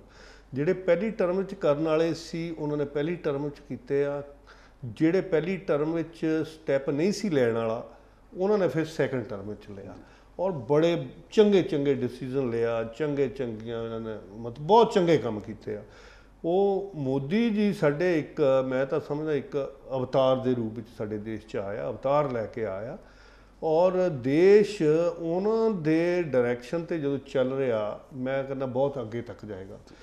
ਤੇ ਇਹਦੇ ਨਾਲ ਨਾਲ ਹੀ ਮੈਂ ਕਹਿੰਦਾ ਆ ਕਿ ਦੇਖੋ ਪੋਲਿਟਿਕਸ ਹੈ। ਪੋਲਿਟਿਕਸ ਜੇ ਕਹੋ ਰਾਤੋਂ ਰਾਤ ਜਾਂ ਕੋਈ ਵੀ ਚੀਜ਼ ਹੈ ਉਹ ਹੋ ਜਾਏਗੀ ਮੋਦੀ ਜੀ ਸਾਡੇ ਪ੍ਰਧਾਨ ਮੰਤਰੀ ਹੈਗੇ ਆ ਉਹਨਾਂ ਦੀ ਮਿਹਨਤ ਸਦਕੇ ਉਹਨਾਂ ਦੀ ਸੋਚ ਸਦਕੇ ਜਿੰਨੀਆਂ ਉਹਨਾਂ ਨੇ ਪਰਿਯੋਜਨਾ ਚਲਾਈਆਂ ਨੇ। ਦੇਸ਼ 'ਚ ਇੱਕ ਆਮ ਆਦਮੀ ਦੇ ਹਿੱਤ ਵਾਸਤੇ ਕਿਸਾਨ ਦੇ ਹਿੱਤ ਵਾਸਤੇ ਦੂਜੇ ਹਰ ਵਰਗ ਦੇ ਹਿੱਤ ਵਾਸਤੇ ਚਾਹੇ ਕਰਮਚਾਰੀ ਹੈ ਚਾਹੇ ਕੋਈ ਵੀ ਹਰ ਹਰ ਹਰ ਪਹਿਲੂ ਤੇ ਉਹਨਾਂ ਨੇ ਕੰਮ ਕੀਤਾ ਆ। ਔਰ ਇਹ ਸਾਡਾ ਫਰਜ਼ ਬਣਦਾ ਕਿ ਅਸੀਂ ਇਹਨਾਂ ਚੀਜ਼ਾਂ ਨੂੰ ਅੱਗੇ ਲੈ ਕੇ ਚੱਲੀਏ ਆਪਣੇ ਪਿੰਡਾਂ ਦੇ ਸਤਰ ਤੇ ਆਪਣੇ ਕਨਸਟੀਚੁਐਂਸੀ ਦੇ ਸਤਰ ਤੇ। ਔਰ ਦੇਖੋ ਮੋਦੀ ਸਾਹਿਬ ਨੇ ਹਰ ਜਗ੍ਹਾ ਤਾਂ ਨਹੀਂ ਘੁੰਮਣਾ। ਉਹ ਤਾਂ ਫੀਡਬੈਕ ਸਾਡੇ ਕੋਲੋਂ ਹੀ ਜਾਣੀ ਹੈ ਨਾ। ਹੁਣ ਜਿੱਦਾਂ ਤੁਸੀਂ ਗੱਲ ਕੀਤੀ ਹੈ ਟੂਰਿਜ਼ਮ ਦੀ ਹੁਣ ਸਾਡਾ ਇਲਾਕਾ ਇਧਰ ਬਹੁਤ ਧਾਰਮਿਕ ਜਗ੍ਹਾ ਹੈਗੀਆਂ। ਸਾਡੇ ਕਮਾਈ ਦੇਵੀ ਹੈਗੀ ਹੈ ਬਹੁਤ ਮਸ਼ਹੂਰ ਹੈ ਬਹੁਤ ਮਾਨਤਾ ਹੈਗੀ ਹੈ। ਸਾਡੇ ਧਰਮਪੁਰ ਦੇਵੀ ਹੈਗੀ ਆ ਬਹੁਤ ਮਾਨਤਾ ਹੈਗੀ ਹੈ। ਸਾਡੇ ਬਾਬਾ ਲਾਲ ਦਿਆਲ ਜੀ ਦੀ ਗੱਦੀ ਆ ਰਾਮਪੁਰ ਚੌਰਦਤਾਰਪੁਰ ਚ ਬਹੁਤ ਮਾਨਤਾ ਦੀ ਉਹ ਹੈਗੀ ਆ। ਸੋ ਇੱਧਰ ਕਾਫੀ ਧਾਰਮਿਕ ਜਗ੍ਹਾ ਹੈਗੀਆਂ ਜਿਹੜੀਆਂ ਕਿ ਕਈ ਬਹੁਤ ਦੁਨੀਆ ਦੂਰੋਂ ਦੂਰੋਂ ਆਉਂਦੀ ਹੈ ਲੇਕਿਨ ਫਿਰ ਵੀ ਇੰਨਾ ਐਕਸਪੋਜ਼ਰ ਨਹੀਂ ਹੈਗਾ ਜਿੰਨਾ ਹੋਣਾ ਚਾਹੀਦਾ। ਉਹਦਾ ਚਾਹੇ ਸਮਝ ਲਓ ਐਕਸਪੋਜ਼ਰ ਦਾ ਕਿ ਕੋਈ ਇੰਨਾ ਕਮਿਊਨੀਕੇਸ਼ਨ ਸਿਸਟਮ ਨਹੀਂ ਹੈਗਾ। ਜਾਂ ਇੰਨਾ ਕੋਈ ਜਿਹੜਾ ਟਰਾਂਸਪੋਰਟੇਸ਼ਨ ਨਹੀਂ ਹੈਗੀ ਜਾਣ ਦੀ ਜਾਂ ਕੋਈ ਇੰਨੀਆਂ ਰੋਡਸ ਨਹੀਂ ਹੈਗੀਆਂ ਜਾਂ ਕਿੱਦਾਂ ਹੈਗਾ ਜੇ ਅਸੀਂ ਉਹਨਾਂ ਚੀਜ਼ਾਂ ਨੂੰ ਡਿਵੈਲਪ ਕਰ ਲਈਏ ਇਹਨਾਂ ਧਾਰਮਿਕ ਜਗ੍ਹਾ ਨੂੰ ਕੋਈ ਇੱਕ ਇਸ ਤਰ੍ਹਾਂ ਡਿਵੈਲਪ ਕਰੀਏ ਕਿ ਇੱਕ ਧਾਰਮਿਕ ਜਗ੍ਹਾ ਹੀ ਨਹੀਂ ਇੱਕ ਇਹਦੇ ਨਾਲ ਨਾਲ ਟੂਰਿਜ਼ਮ ਨੂੰ ਅਸੀਂ ਬੜਾਵਾ ਦਈਏ ਤਾਂ ਮੇਰਾ ਖਿਆਲ ਸਾਡੇ ਇਲਾਕੇ 'ਚ ਕਾਫੀ ਤਰੱਕੀ ਹੋ ਸਕਦੀ ਹੈ ਇਹ ਵੀ ਇੱਕ ਬਹੁਤ ਵੱਡਾ ਪ੍ਰੋਜੈਕਟ ਹੈ ਜਿਹੜਾ ਕੀਤਾ ਜਾ ਸਕਦਾ। ਸੋ ਕਿਤੇ ਨਾ ਕਿਤੇ ਧਾਰਮਿਕ ਜਿਹੜੇ ਸਾਡੇ ਸਥਾਨ ਹੈ, ਬਹੁਤ ਮਹੱਤਤਾ ਰੱਖਦੇ ਨੇ, ਲੋਕਾਂ ਦੇ ਮਨ ਦੇ ਵਿੱਚ ਬਹੁਤ ਸ਼ਰਧਾ ਹੁੰਦੀ ਨੇ। ਔਰ ਆਮ ਤੌਰ ਤੇ ਅਸੀਂ ਦੇਖਦੇ ਹਾਂ ਕਿ ਲੋਕੀ ਉੱਥੇ ਜਾਂਦੇ ਔਰ ਆਪਣੇ ਮਨ ਦੀ ਸ਼ਾਂਤੀ ਜਿਹੜੀ ਹਾਸਲ ਕਰਦੇ। ਸੋ ਕੰਢੀ ਇਲਾਕਾ ਜਿਹੜਾ ਹੈ, ਇਸ ਜਗ੍ਹਾ ਵਾਸਤੇ ਜਾਣਿਆ ਜਾਂਦਾ ਸੋ ਆਪਾਂ ਇੱਥੋਂ ਦੇ ਕੁਝ ਖਾਸ ਸ਼ਖਸੀਅਤਾਂ ਜਿਹੜੇ ਡੇਰਾ ਪ੍ਰਮੁੱਖ ਨੇ, ਚਾਹੇ ਬਾਬਾ ਲਾਲ ਦਿਆਲ ਗੱਦੀ ਜੀ ਦੇ ਗੱਦੀ ਨਸ਼ੀਨ ਮਹੰਤ ਰਮੇਸ਼ ਦਾਸ ਸ਼ਾਸਤਰੀ ਜੀ ਨੇ। ਔਰ ਦੂਸਰੇ ਪਾਸੇ ਅਸੀਂ ਕਮਾਹੀ ਦੇਵੀ ਮੰਦਿਰ ਜਿਹੜਾ ਹੈ ਉਹ ਉਸੇ ਜਿਹੜੇ ਗੱਦੀ ਨਸ਼ੀਨ ਨੇ ਸੋ, ਉਹਨਾਂ ਦੇ ਕੋਲੋਂ ਵੀ ਅਸੀਂ ਰਾਣਾ ਜੀ ਸ਼ਖਸੀਅਤ ਬਾਰੇ ਜਾਣਕਾਰੀ ਹਾਸਲ ਕੀਤੀ। ਆਓ ਸੁਣਦੇ ਹਾਂ ਕਿ ਉਹਨਾਂ ਦੇ ਵਿਚਾਰ ਨੇ। ਰਘੁਨਾਥ ਰਾਣਾ ਜੀ, ਜਿੱਥੇ ਇੱਕ ਉੱਚ ਕੋਟੀ ਦੇ ਉਦਯੋਗਪਤੀ ਹਨ, ਉੱਥੇ ਇੱਕ ਪ੍ਰਮੁੱਖ ਸਮਾਜ ਸੇਵੀ ਵੀ ਹਨ, ਇਸ ਖੇਤਰ ਨੂੰ ਉਹਨਾਂ ਨੇ ਬਹੁਤ ਹੀ ਸੇਵਾ ਪ੍ਰਦਾਨ ਕੀਤੀ ਹੈ ਇਸ ਖੇਤਰ ਨੇ ਵਾਸਤੇ। ਮੈਂ ਇਹ ਚਾਹਾਂਗਾ ਕਿ ਰਘੁਨਾਥ ਰਾਣਾ ਜੀ ਜਿਸ ਢੰਗ ਦੇ ਨਾਲ ਇਸ ਖੇਤਰ ਦੀ ਸੇਵਾ ਕਰ ਰਹੇ ਹਨ, ਪਰਮਾਤਮਾ ਇਹਨਾਂ ਨੂੰ ਹੋਰ ਵੀ ਸ਼ਕਤੀ ਪ੍ਰਦਾਨ ਕਰੇ। ਹਰ ਰਾਜਨੀਤਿਕ ਖੇਤਰ ਦੇ ਵਿੱਚ ਵੀ ਆਪਣੀ ਜਿੱਥੇ ਨਾ ਕੁਝ ਪੈਠ ਹੈਗੀ ਹੈ, ਉਹਦੇ ਨਾਲ ਵੀ ਉੱਚੀ ਇੱਕ ਪੈਠ ਬਣਾ ਕਰਕੇ ਇਸ ਖੇਤਰ ਨੂੰ ਸੇਵਾ ਪ੍ਰਦਾਨ ਕਰਨ। ਉਹ ਹਰ ਘਰ ਦੇ ਵਿੱਚ ਸੁੱਖ ਦੁ- ਦੁੱਖ ਦੇ ਵਿੱਚ ਹਰ ਵਿਅਕਤੀ ਦੇ ਸਹਾਈ ਹੁੰਦੇ ਹਨ। ਗਰੀਬਾਂ ਦੀ ਮਦਦ ਕਰਨ ਦੇ ਵਾਸਤੇ ਹਰ ਵੇਲੇ ਤਿਆਰ ਰਹਿੰਦੇ ਹਨ। ਔਰ ਖੁਸ਼ੀ ਗਮੀ ਦੇ ਵਿੱਚ ਉਹ ਇਲਾਕੇ ਦੇ ਹਰ ਵਿਅਕਤੀ ਦੇ ਨਾਲ ਹਨ। ਇਹੋ ਜਿਹਾ ਇੱਕ ਵਿਅਕਤੀ, ਇਹੋ ਜਿਹੀ ਇੱਕ ਸ਼ਖਸੀਅਤ ਅਗਰ ਵਿਸ਼ੇਸ਼ ਰੂਪ ਦੇ ਨਾਲ ਖੇਤਰ ਦੀ ਸੇਵਾ ਕਰ ਸਕੇ, ਜਿਸ ਖੇਤਰ ਦਾ ਬੜਾ ਇੱਕ ਗੌਰਵ ਹੋਏਗਾ। ਮੈਂ ਆਪਣੇ ਵੱਲੋਂ ਵੀ, ਕਿਉਂਕਿ ਰਾਣਾ ਜੀ ਬਹੁਤ ਹੀ ਪਰਚਿਤ ਹਨ ਆਮ ਤੌਰ ਤੇ ਇੱਥੇ ਦਰਬਾਰ ਤੇ ਆਉਂਦੇ ਹਨ। ਉਹਨਾਂ ਦੀ ਆਪਸ ਦੇ ਵਿੱਚ ਗੱਲਬਾਤ ਵੀ ਹੁੰਦੀ ਹੈ। ਮੈਂ ਵੀ ਇਹ ਚਾਹਾਂਗਾ ਕਿ ਉਹ ਹੋਰ ਵੀ ਅੱਛੇ ਢੰਗ ਦੇ ਨਾਲ ਸਮਾਜ ਦੀ ਸੇਵਾ ਕਰਨ ਤਾਂ ਕਿ ਸਮਾਜ ਇਸ ਖੇਤਰ ਦਾ ਜਿਹੜਾ ਹੈ ਵਿਸ਼ੇਸ਼ ਰੂਪ ਦੇ ਨਾਲ ਵਿਕਾਸ ਹੋ ਸਕੇ। ਇਹਨਾਂ ਚੰਦ ਸ਼ਬਦਾਂ ਦੇ ਨਾਲ ਮੈਂ ਆਪਣੀ ਬਾਣੀ ਨੂੰ ਵਿਰਾਮ ਦੇਣਾ ਓਮ ਸ਼ਾਂਤੀ। ਰਘੁਨਾਥ ਰਾਣਾ ਜੀ, ਸਾਡੇ ਇਲਾਕੇ ਦੇ ਬਹੁਤ ਹੀ ਅੱਛੇ ਇੱਕ ਸਮਾਜ ਸੇਵੀ ਹਨ। ਇਹ ਸਮਾਜ ਸੇਵਾ ਕਿਸ ਵੀ ਪ੍ਰਕਾਰ ਦੀ ਹੋਵੇ, ਭਾਵੇਂ ਉਹ ਨੌਜਵਾਨਾਂ ਦੀ ਹੈਲਪ ਕਰਨ ਦੀ ਹੈ ਜਾਂ ਕਿਸੇ ਗਰੀਬ ਬੰਦੇ ਦੀ ਹੈਲਪ ਕਰਨੀ ਹੈ, ਤੇ ਜਦੋਂ ਵੀ ਰਘੁਨਾਥ ਰਾਣਾ ਜੀ ਨੂੰ ਅਸੀਂ ਯਾਦ ਕੀਤਾ ਜਾਂ ਉਹਨਾਂ ਨੂੰ ਹੋਰ ਵੀ ਕੋਈ ਇਲਾਕੇ ਦਾ ਬੰਦਾ ਜਦੋਂ ਮਿਲਦਾ ਹੈ ਜਾਂ ਦੱਸਦਾ ਹੈ ਕਿਸੇ ਬਾਰੇ, ਤਾਂ ਉਹ ਤਹਿ ਦਿਲੋਂ ਖੁੱਲ ਕੇ ਉਹਦਾ ਸਾਥ ਦੇਣ ਵਾਸਤੇ ਹਮੇਸ਼ਾ ਹੀ ਸਾਥ ਦਿੱਤਾ ਉਹਨਾਂ ਨੇ। ਔਰ ਸਾਨੂੰ ਵਿਸ਼ਵਾਸ ਹੈ ਕਿ ਉਹ ਆਪਣੇ ਇਲਾਕੇ ਨੂੰ ਦਿਲੀ ਪਿਆਰ ਕਰਦੇ ਹਨ ਇੱਥੋਂ ਦੇ ਜੰਪਲ ਹਨ? ਭਾਵੇਂ ਉਹ ਸ਼ਹਿਰ 'ਚ ਬਸੇ ਜਾ ਕੇ, ਪਰ ਉਹ ਆਪਣੇ ਇਲਾਕੇ ਨਾਲ ਸਦਾ ਹੀ ਟੱਚ ਰਹਿੰਦੇ ਨੇ। ਅੱਛੇ ਉਦਯੋਗਪਤੀ ਔਰ ਸਰਕਾਰੀ ਤੌਰ ਤੇ ਵੀ ਉਹਨਾਂ ਨੇ ਕਾਫੀ ਅਹੁਦੇ ਮਿਲੇ ਉਹਨਾਂ ਨੂੰ। ਸਰਕਾਰ ਦੇ ਵਿੱਚ ਵੀ ਉਹਨਾਂ ਦੀ ਰਾਜਨੀਤਿਕ ਵੀ ਪੈਠ ਜਿਹੜੀ ਹੈ, ਉਹ ਅੱਛੀ ਹੈ। ਔਰ ਉਸ ਦਾ ਵੀ ਉਹ ਆਪਣੇ ਸਮਾਜਿਕ ਲੋਕਾਂ ਨੂੰ, ਆਪਣੇ ਏਰੀਏ ਨੂੰ ਉਸ ਦਾ ਫਾਇਦਾ ਵੀ ਪਹੁੰਚਾਉਣ ਦੀ ਕੋਸ਼ਿਸ਼ ਕਰਦੇ ਰਹਿੰਦੇ ਹਨ। ਮੈਂ ਇਹ ਆਪਣੇ ਤਹਿ ਦਿਲੋਂ ਪ੍ਰਮਾਤਮਾ ਅੱਗੇ ਅਰਦਾਸ ਕਰਦਾ ਹਾਂ ਕਿ ਪਰਮੇਸ਼ਵਰ ਕਿਰਪਾ ਕਰੇ, ਉਹਨਾਂ ਦੀ ਤੰਦਰੁਸਤੀ ਰੱਖੇ ਤੇ ਉਹ ਕੀ ਆਪਣੇ ਇਲਾਕੇ ਦੀ ਹੋਰ ਸੇਵਾ ਕਰ ਸਕਣ। ਸੋ ਆਮ ਤੌਰ ਤੇ ਅਸੀਂ ਦੇਖਦੇ ਹਾਂ ਕਿ ਸਾਡਾ ਜਿਹੜਾ ਇਲਾਕਾ ਕੰਢੀ ਦਾ ਹੈ, ਇਹ ਕਾਫੀ ਪਿਛੜਿਆ ਹੋਇਆ ਇਲਾਕਾ, ਉੱਥੋਂ ਦੇ ਬਹੁਤ ਸਾਰੀਆਂ ਬੁਨਿਆਦੀ ਸਮੱਸਿਆਵਾਂ ਨੇ। ਸੋ, ਇਹਨਾਂ ਨੂੰ ਤੁਸੀਂ ਕਿੱਦਾਂ ਦੇਖਦੇ ਹੋ? ਕੀ ਵਿਜ਼ਨ ਹੈ ਕਿਸ ਤਰੀਕੇ ਨਾਲ ਤੁਸੀਂ ਚਾਹੁੰਦੇ ਹੋ ਕਿ ਉਸ ਚੀਜ਼ ਨੂੰ ਐਡਰੈਸ ਕੀਤਾ ਜਾਏ ਤਾਂ ਕਿ ਉਹਨਾਂ ਦੇ ਲੋਕਾਂ ਦੀਆਂ ਸਮੱਸਿਆਵਾਂ ਜਿਹੜੀਆਂ ਉਹਨੂੰ ਹੱਲ ਕੀਤਾ ਜਾ ਸਕੇ। ਦੇਖੋ ਇਸ ਵੇਲੇ ਤੇ ਜਦੋਂ ਦਾ ਮੈਂ ਉਧਰ ਸ਼ੁਰੂ ਤੋਂ ਵਿਚਰਦਾ ਪਿਆ ਆ ਇਸ ਵੇਲੇ ਤਾਂ ਮੈਂ ਇੱਕ ਪਰਸਨਲ ਲੈਵਲ ਤੇ ਹੀ ਜਾਣਾ ਆ। ਪਰਸਨਲ ਲੈਵਲ ਤੇ ਜੋ ਕੁਝ ਹੁੰਦਾ ਆ ਉਹ ਦੇਖਦਾ ਆ। ਔਰ ਮੈਨੂੰ ਉੱਥੇ ਲੋਕਲ ਜਿੰਨੇ ਵੀ ਸਾਡੇ ਕੰਢੀ ਇਲਾਕੇ ਦੇ ਦਸੂਆ ਕੰਸਟੀਚੁਐਂਸੀ ਹੋਵੇ ਚਾਹੇ ਮਕੇਰੀਆਂ ਹੋਵੇ ਚਾਹੇ ਹੋਰ ਨਾਲ ਦੀ ਹੋਵੇ ਜਿੰਨਾ ਵੀ ਕੰਢੀ ਇਲਾਕਾ ਇੱਕ ਤੇ ਲੋਕਾਂ ਨੇ ਮੈਨੂੰ ਬਹੁਤ ਪਿਆਰ ਦਿੱਤਾ। ਜੀ। ਬਹੁਤ ਜ਼ਿਆਦਾ ਪਿਆਰ ਦਿੱਤਾ, ਮੇਰਾ ਬਹੁਤ ਸਤਿਕਾਰ ਕਰਦੇ ਆ, ਬਹੁਤ ਪਿਆਰ ਦਿੱਤਾ ਆ ਔਰ ਮੈਂ ਆਨਾ ਜਾਂਦਾ ਮਿਲਦਾ ਜੁਲਦਾ ਵਾਂ।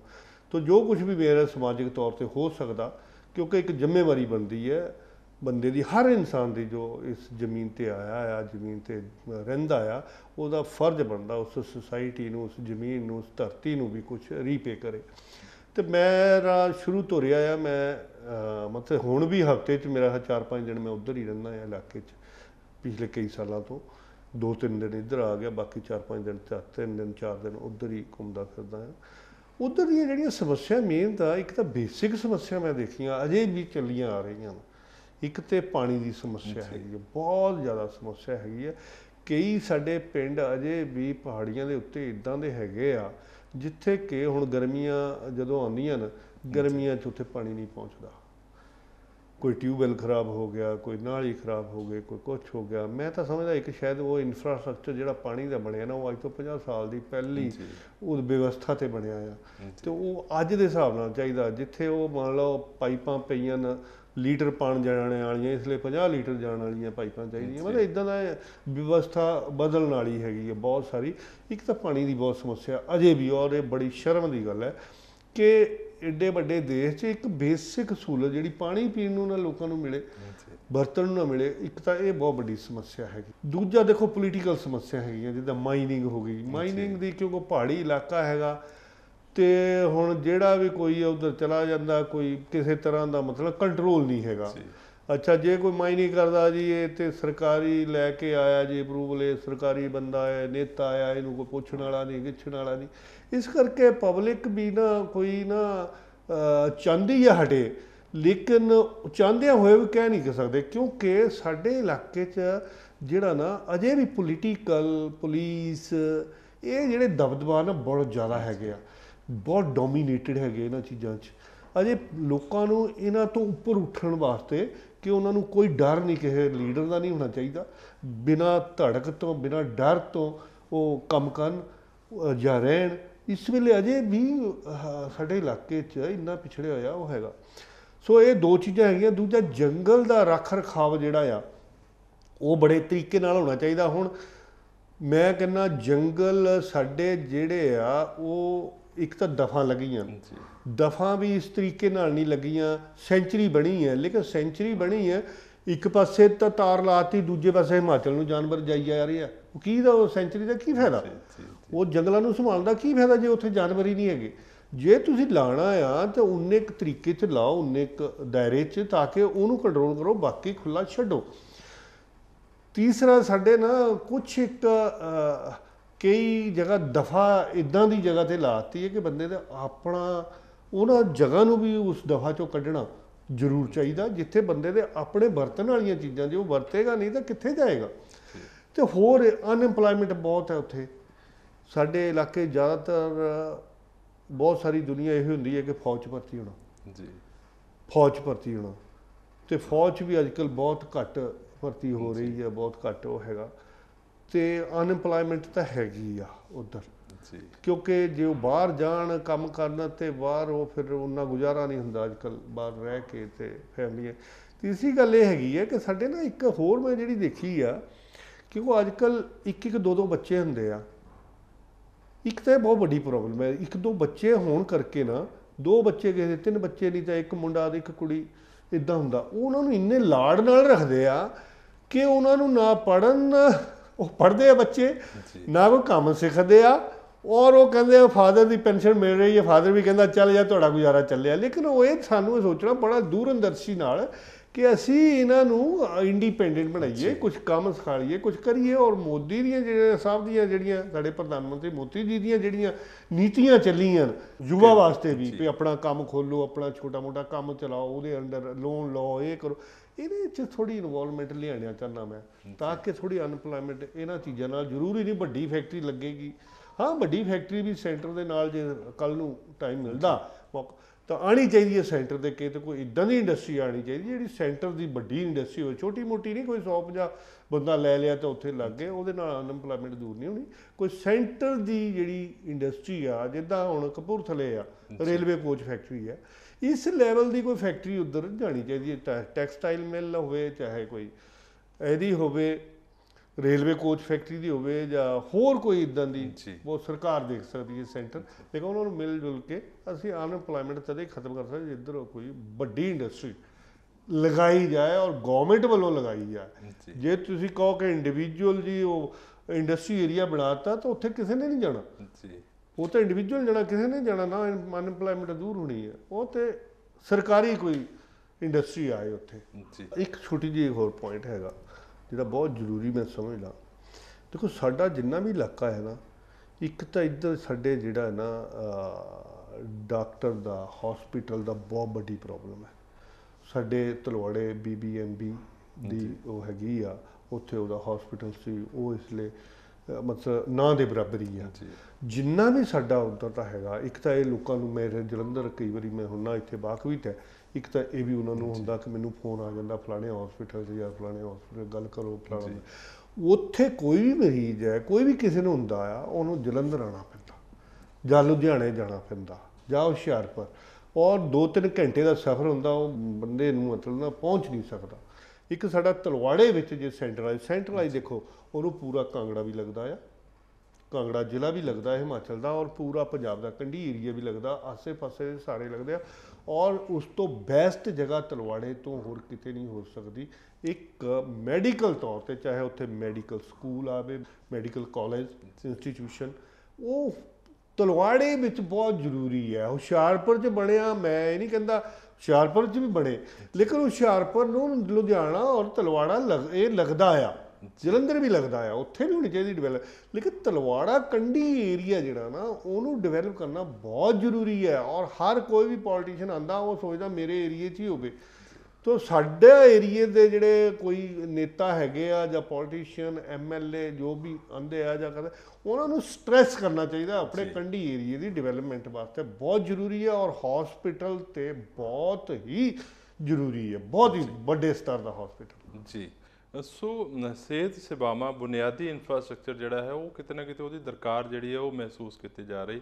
ਸੋ ਅੱਜ ਵੀ ਕੰਢੀ ਇਲਾਕਾ ਜਿਹੜਾ ਹੈ, ਉਸ ਦੀ ਡਿਵੈਲਪਮੈਂਟ ਜਿਹੜੀ ਹੈ, ਕਿਤੇ ਨਾ ਕਿਤੇ ਪਿੱਛੇ ਸਾਨੂੰ ਨਜ਼ਰ ਆ ਰਹੀ ਹੈ। ਬਾਕੀ ਸੂਬੇ ਦੇ ਮੁਕਾਬਲੇ, ਸੋ ਉਹਨਾਂ ਲੋਕਾਂ ਦੀਆਂ ਪ੍ਰਾਇੋਰਟੀਆਂ ਜਿਹੜੀਆਂ ਉਸ ਨੂੰ ਦੇਖਣਾ ਪਏਗਾ, ਉਹਨਾਂ ਨੂੰ ਐਡਰੈਸ ਕਰਨਾ ਪਏਗਾ ਔਰ ਇਹ ਲੀਡਰਸ਼ਿਪ ਜਿਹੜੀ ਹੈ ਉਸ ਨੂੰ ਸਮੇਂ ਦੇ ਉੱਤੇ ਧਿਆਨ ਦੇਣਾ ਪਏਗਾ ਤਾਂ ਹੀ ਜਿਹੜੀ ਅਨਰੈਸਟ ਹੈ, ਯੂਥ ਦੇ ਅੰਦਰ ਉਸ ਨੂੰ ਦੂਰ ਕੀਤਾ ਜਾ ਸਕਦਾ। ਸੋ ਰਾਣਾ ਜੀ, ਜਿਸ ਤਰੀਕੇ ਦੇ ਨਾਲ ਲੋਕਾਂ ਦੇ ਨਾਲ ਜੁੜੇ ਹੋਏ ਆ, ਲੋਕਾਂ ਦੀਆਂ ਦੁੱਖ ਤਕਲੀਫਾਂ ਦੇਖ ਰਹੇ ਆ, ਸੋ ਆਸ ਕਰਦੇ ਹਾਂ ਕਿ ਆਉਣ ਵਾਲੇ ਸਮੇਂ ਦੇ ਵਿੱਚ ਉਹਨਾਂ ਦੀਆਂ ਸਮੱਸਿਆਵਾਂ ਸ਼ਾਇਦ ਇਹ ਵੀ ਦੂਰ ਕਰਨ ਦੇ ਵਿੱਚ ਆਪਣਾ ਯੋਗਦਾਨ ਪਾਉਣਗੇ ਔਰ ਜਿਸ ਤਰੀਕੇ ਦੇ ਨਾਲ ਲੱਗੇ ਹੋਏ, ਕਿਉਂਕਿ ਲੋਕਾਂ ਦੇ ਨਾਲ ਜੁੜ ਕੇ ਰਹਿਣਾ ਔਰ ਲੋਕਾਂ ਦੇ ਨਾਲ ਹਰ ਜਿਹੜੀ ਸਮੱਸਿਆ ਉਸ ਨੂੰ ਜਾਣਨ ਦੀ ਕੋਸ਼ਿਸ਼ ਕਰਨੀ, ਉੱਥੇ ਸਮਾਂ ਬਤੀਤ ਕਰਨਾ, ਸੋ ਇਹ ਬਹੁਤ ਵੱਡਾ ਇੱਕ ਇਹਨਾਂ ਦੀ ਪਰਸਨੈਲਿਟੀ ਦਾ ਇੱਕ ਵਿਅਕਤੀਤਵ ਦਾ ਹਿੱਸਾ ਜਿਹੜਾ ਸਾਨੂੰ ਨਜ਼ਰ ਆਉਂਦਾ। ਸੋ ਸਾਡੇ ਨਾਲ ਗੱਲਬਾਤ ਕਰਨ ਲਈ ਬਹੁਤ ਬਹੁਤ ਸ਼ੁਕਰੀਆ, ਸਰ। ਧੰਨਵਾਦ।